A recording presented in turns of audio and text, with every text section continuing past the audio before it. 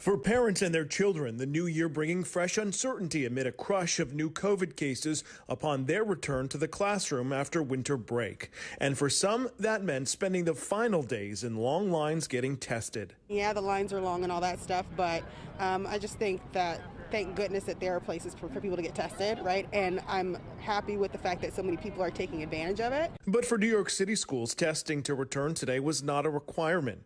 As of last Thursday, there were 3,300 students and staff infected with COVID and outbreaks prompting eight city schools to close. Despite the teachers union asking to start remote, Mayor Eric Adams insisting schools are the safest spots for our children with a new testing plan in place. Testing should be mandatory. It's so important. It will give us a lot of power to determine who's exposed.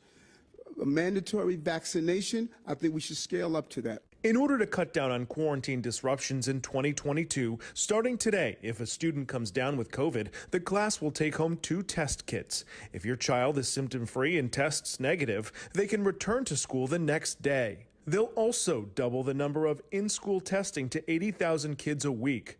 New rules for a new year amid a familiar problem yet to be solved.